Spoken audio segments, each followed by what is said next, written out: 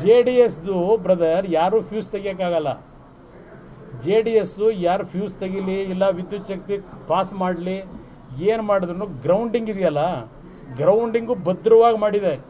ಈ ಕಾರ್ಯಕರ್ತರು ಅಂತಕ್ಕಂಥ ಗ್ರೌಂಡಿಂಗ್ ಇದೆಯಲ್ಲ ಜೆ ಡಿ ಎಸ್ ಪಕ್ಷದಲ್ಲಿ ಅದು ಭಾಳ ಪವರ್ಫುಲ್ ಆಗಿರ್ತಕ್ಕಂಥ ಗ್ರೌಂಡಿಂಗ್ ಇದು.